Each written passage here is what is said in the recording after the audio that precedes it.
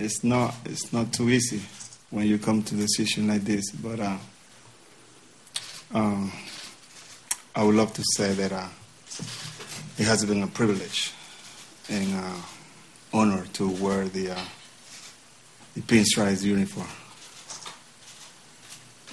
that I have proudly wear for so many years and uh,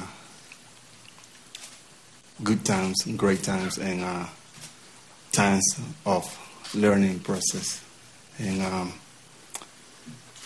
has been wonderful.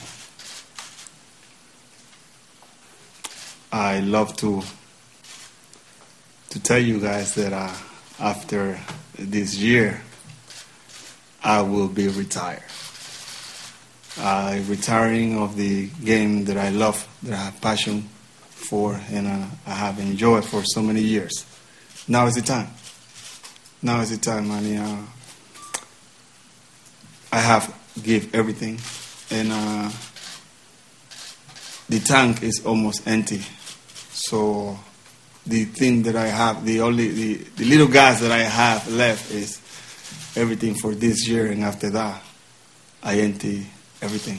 I don't, I don't, I don't feel myself the greatest of all times. The reason why I say that because I mean, I'm a team player, and uh, if it wasn't for my teammates, I would never have the opportunity. You know, but uh, I will, I will love to be remembered of the player that always was there for others trying to do make others better and uh, didn't think about himself at all. And uh, that's the legacy that I want to leave. You know that uh,